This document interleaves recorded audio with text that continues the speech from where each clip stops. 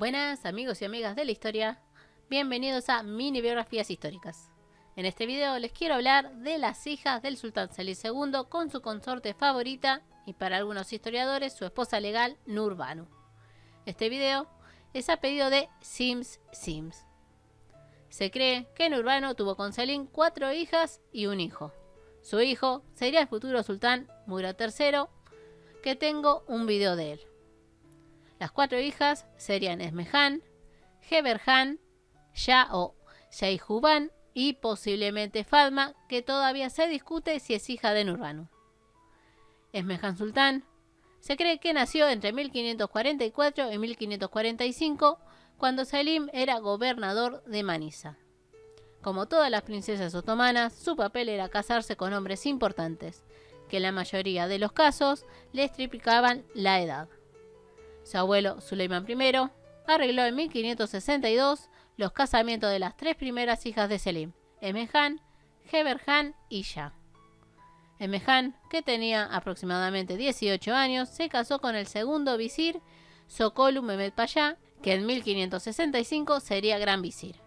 Este le llevaba casi 40 años. Tuvieron dos hijos, Ibrahim y Hassan, y una hija llamada Gurru. Gracias a que su esposo era gran visir, se sabe que Esmehan fue ganando poder dentro del palacio. En 1566 muere su abuelo y se convierte en sultán su padre Selim.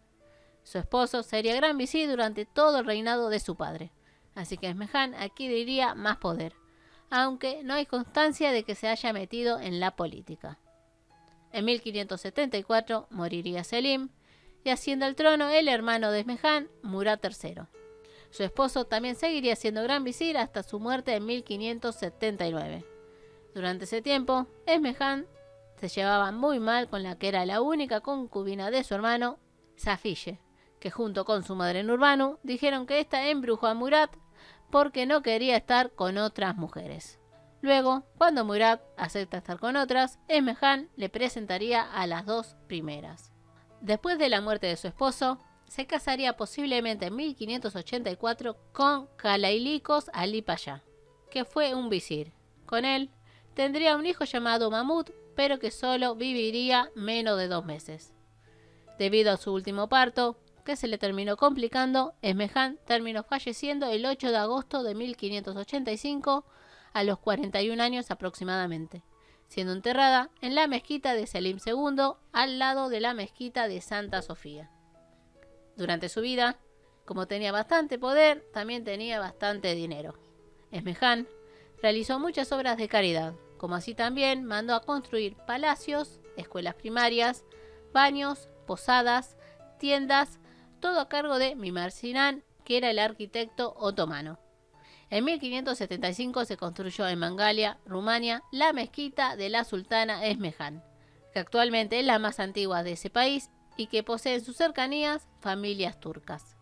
La próxima hija, Hebergan Sultán, nació entre 1544 y 1545 en Manisa, donde era gobernador Selim.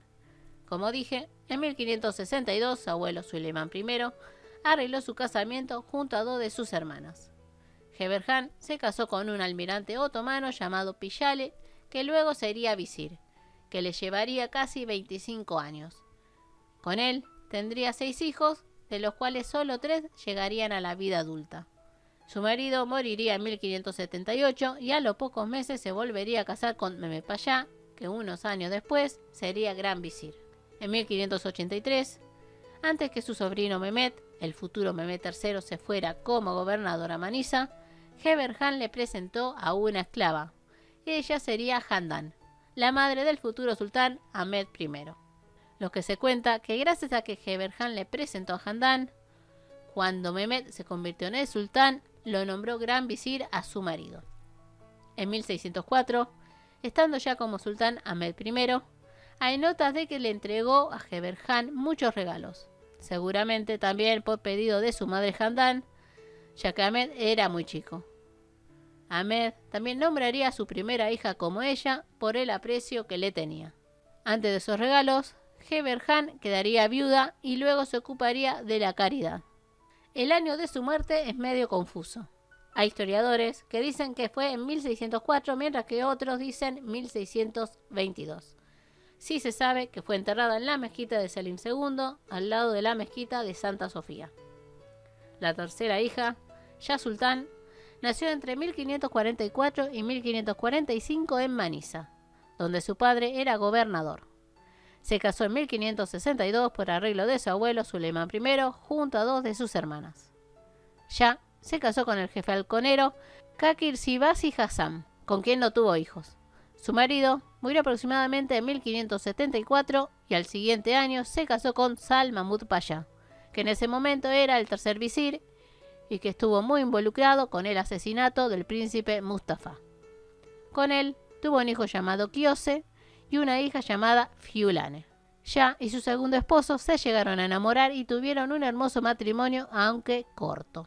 En septiembre de 1580 ya enfermó aunque no se aclara de qué, falleciendo en ese mismo mes. Se cuenta que su marido, que estaba también enfermo y acostado junto a ella, murió al mismo tiempo. Ya fue enterrada junto a su marido en la mezquita de él, Salma Mutpaya, en la localidad de Eyüp, Estambul. La última hija, aunque como dije se discute si es de Nurbano, es Fatma Sultán. Ella nació entre 1550 y 1559 en Manisa, donde era gobernador Selim. Fatma se casó en 1574 con Kanisheli Siyabus Pasha, que en 1582 sería gran visir. Con él tuvo una hija y dos hijos. De Fatma casi no se sabe nada porque moriría joven en 1580 a causa de un parto muy difícil donde también moriría su hija recién nacida. Casi al mismo tiempo que había muerto su hermana ya. Fatma fue enterrada en la mezquita de Salim II, al lado de la mezquita de Santa Sofía. Bueno amigos y amigas, espero les haya gustado. Si fue así, no se olviden el like, de compartir el video. Y si desean alguna biografía, solo me escriben. Les mando un gran abrazo y nos vemos en el próximo video. Besos.